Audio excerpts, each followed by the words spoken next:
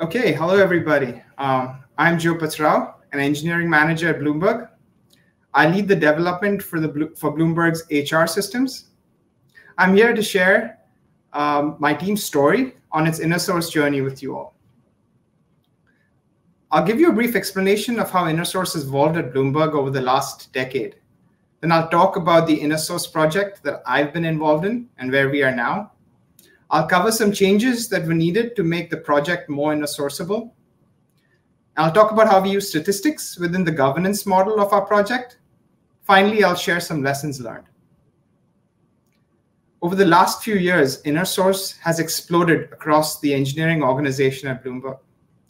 Uh, the rapid adoption of GitHub and organization-wide collaboration initiatives like technology guilds, where engineers across the organization build relationships and share ideas, created conditions that were very ripe for inner source. Uh, we also started a special CHAMPS program to bridge the divide between engineers working on infrastructure and engineers working on applications that rely on that infrastructure. This has increased collaboration touchpoints, knowledge sharing, and influenced roadmaps across various groups. Now, more than ever before, engineers are empowered to be the change they want to see in another team's code base whether it's contributing bug fixes or you know a small little change that makes a client happy um, or a feature that improves productivity across a group of engineers. Inner source is extreme is increasingly becoming a pillar of how we work at bloomberg.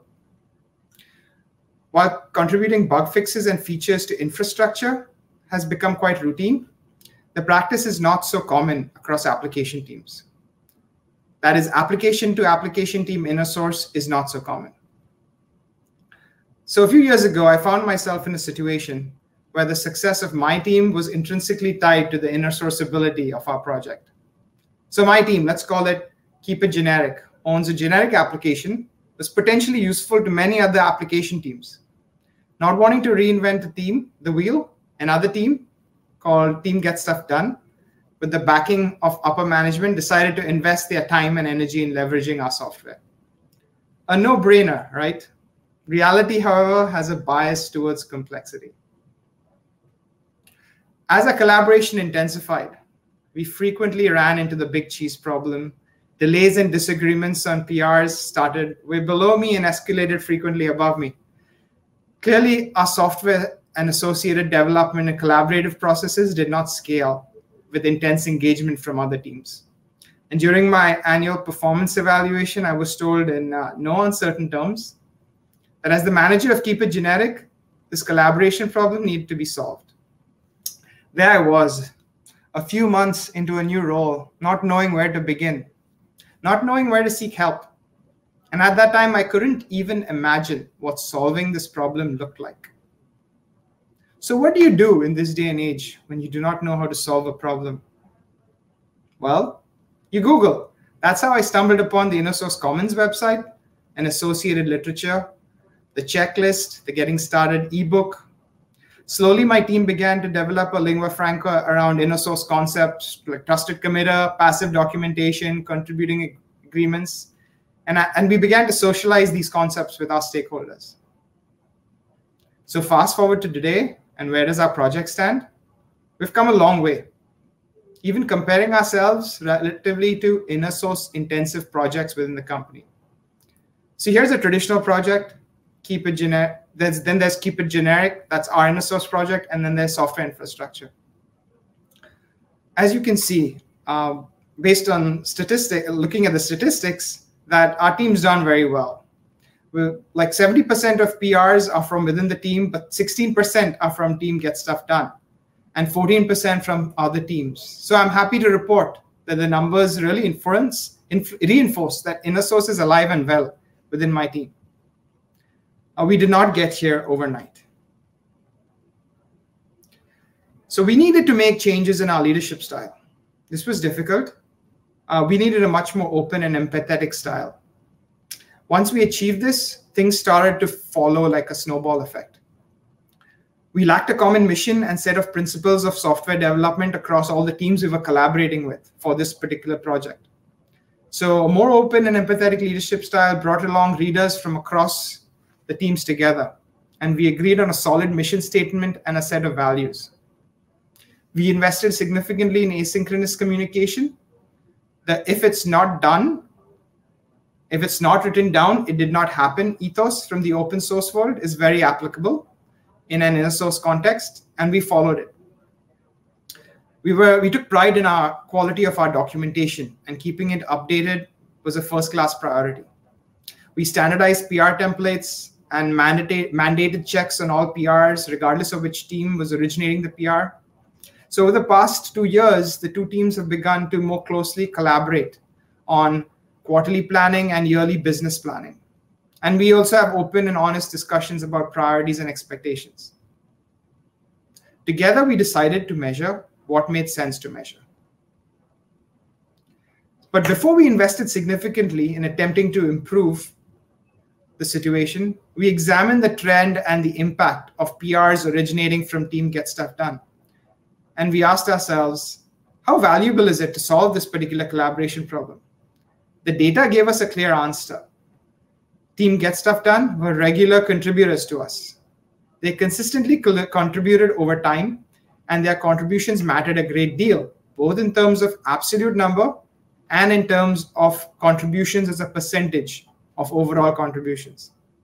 There was some understandable fluctuation based on business delivery cycle and priorities. The overall picture, however, was clear. There was significant value to be realized from improving the inner source process. We circulated this data across both teams and their management, and this provided much needed transparency into the strength and the value to both teams from this collaborative relationship. Then we focused in on our goal. With respect to statistics, there are so many different types of statistics that we could be that could be interesting to look at.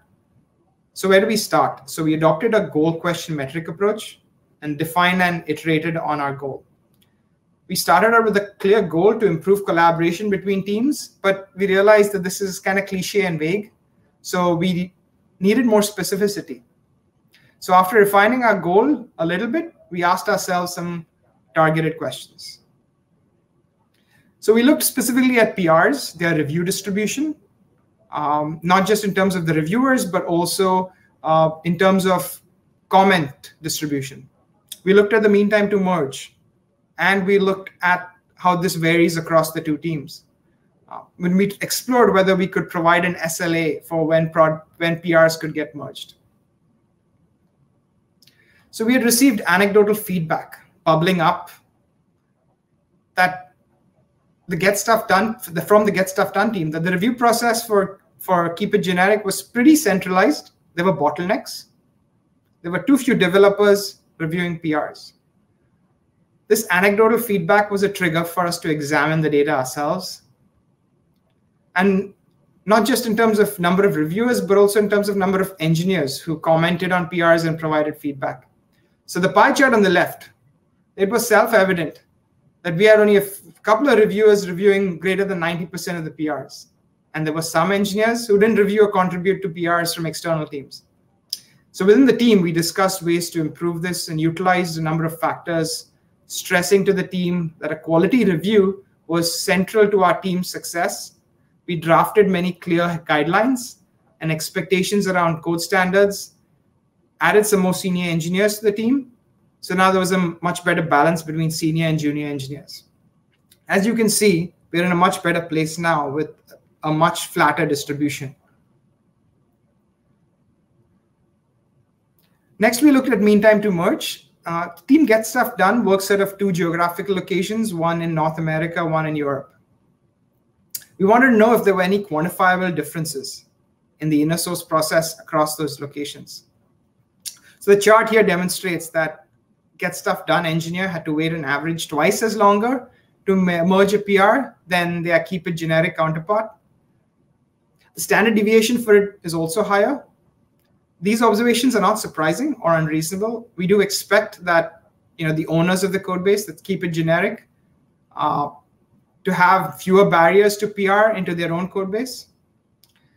Variability measured by standard deviation is a good indicator of the quality of a process.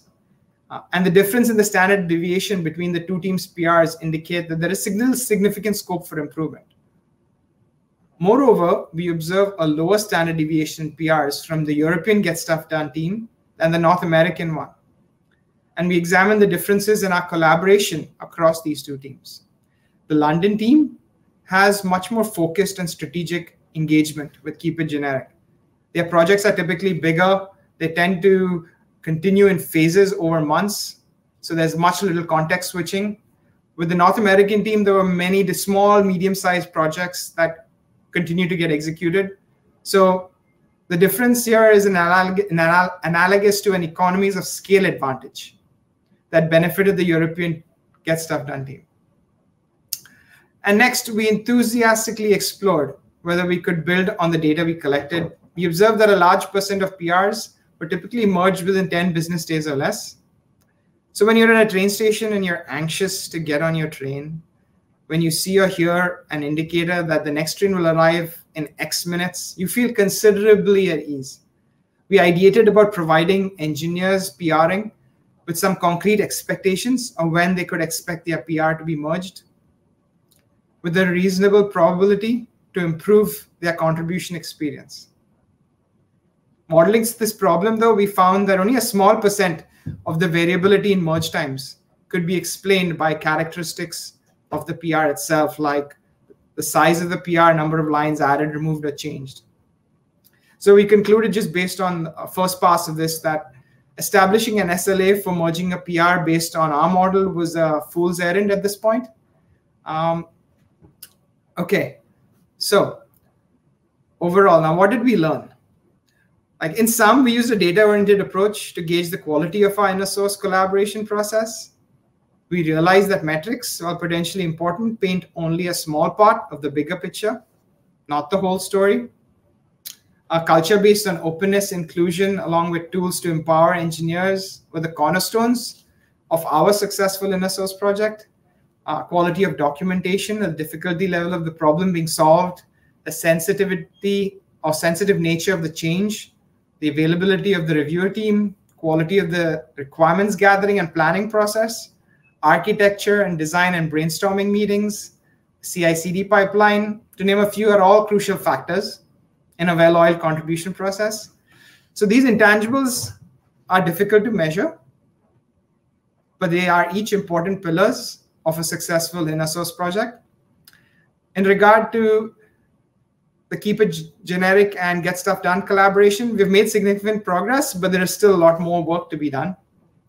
Um, and on that note, I'd like to thank you for listening uh, to our inner source journey. And uh, I invite you to check out our website at bloomberg.com engineering. We are hiring. Uh, thank you very much.